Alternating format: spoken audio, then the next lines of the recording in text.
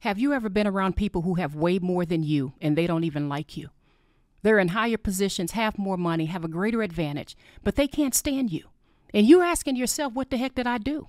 That's when you know that there's a blessing on your life because